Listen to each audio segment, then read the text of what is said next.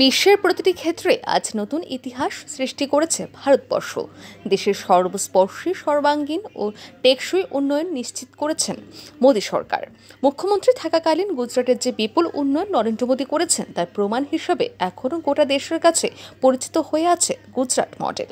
ঠিক সেই রকম মডেল ত্রিপুরা গঠনের লক্ষ্য নিয়ে কাজ করছে বর্তমান রাজ্য সরকার। এই সরকারের অন্যতম লক্ষ্য ত্রিপুরাকে দেশের মধ্যে একটি অন্যতম শ্রেষ্ঠ রাজ্য হিসেবে গড়ে তোলা। নেশামুক্ত রাজ্য হিসাবে ত্রিপুরাকে দেশের মধ্যে সুপ্রতিষ্ঠিত করা। এক ত্রিপুরা, শ্রেষ্ঠ ত্রিপুরা গড়ে তোলার স্বপ্নকে বাস্তবায়িত করতে বিশাল ভূমিকা রয়েছে রাজ্যবাসীর। তাদের মতামত ছাড়া এক পাও এগোতে পারবে না রাজ্য সরকার। আগরতলা রবীন্দ্র শতবার্ষিকী ভবনে আট নম্বর টাউন বর্দোয়ালি মণ্ডলের উদ্যোগে আয়োজিত এক মত বিনিময় সভায় উপস্থিত থেকে রবিবার এমনটাই বললেন রাজ্যের মুখ্যমন্ত্রী ডক্টর মানিক সাহা। দেশের প্রধানমন্ত্রী নরেন্দ্র মোদীর নানান জনকল্যাণমুখী প্রকল্প সম্পর্কে রাজধানীর বিশিষ্ট নাগরিকদের এদিন অবহিত করেছেন মুখ্যমন্ত্রী। এর পাশাপাশি তিনি বলেন, এই সরকার বাস্তবিক অর্থে মানুষের সরকার। মানুষের সামগ্রিক কল্যাণে কাজ করাই বর্তমান সরকারের অন্যতম লক্ষ্য। জুন পর্যন্ত বিভিন্ন কার্যক্রম আমাদের দেওয়া হয়েছে। তো এর মধ্যে এটা একটা কার্যক্রম যে বিশিষ্ট যারা ইনফ্লুয়েন্সার যাদের কথা মানুষ শুনে মানুষ মন দিয়ে শুনতে চায়, চেষ্টা করে বুঝতে। তাদেরকে নিয়ে বিভিন্ন মণ্ডলে এই আয়োজন। এখানে আট নম্বর দোয়ালিতে আজকে এক মাসের যে আমাদের বিভিন্ন কার্যক্রম, তার মধ্যে এটা একটা। আমার এখনও মনে আছে, আমাদের মাননীয় প্রধানমন্ত্রীজি, যখন ওনার প্রায় তেরো বছর সমান ওনার কার্যকাল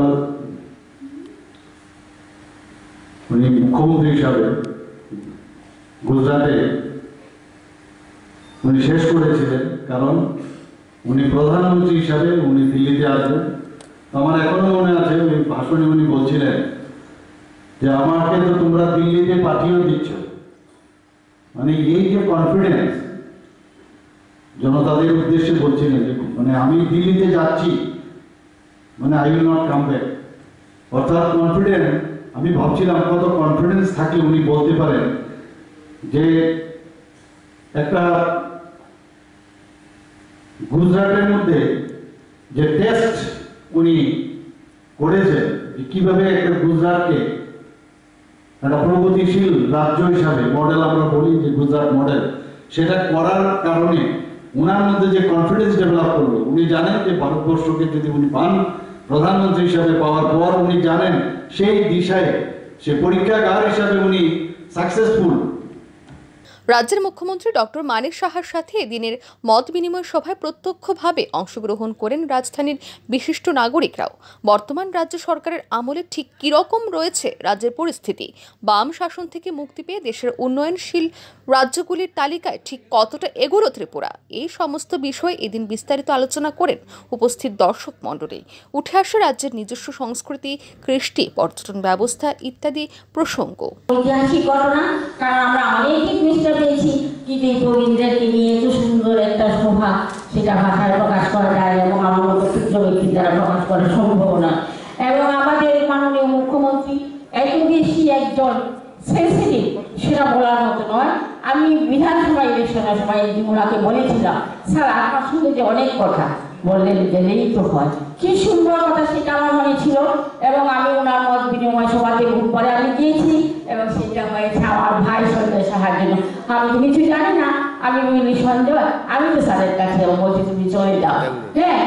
তো আমি গেলাম স্যার- স্যারের কাছে কিন্তু সেই সময় গিয়ে আমার এত ব্যক্তিগত অভিজ্ঞতা হলো যেটা কিন্তু ভাষায় প্রকাশ করা যায় না। এত সুন্দর এখানে জাহাজের খেলা নেই হাঁসের খেলা নেই শুধু গরিব দুঃখী যারা আছে তাদের কাছে পাশে দাঁড়ানোর কাজই হলো আমাদের চিফ মিনিস্টারের। রাজধানীর রবীন্দ্র ভবনে আয়োজিত এদিনের মত বিনিময় সভায় উপস্থিত ছিলেন আগরতলা পৌর নিগমের মেয়র দীপক মজুমদার, বিজেপি সদর শহরের জেলা সভাপতি অসীম ভট্টাচার্য বরদোয়ালি মণ্ডলের সভাপতি সঞ্জয় সাহা, প্রভারী সুব্রত চক্রবর্তী এবং বরদোয়ালি মণ্ডলের যুব মোর্চার সভাপতি Padmanabha Saha. Bureau report, R E news.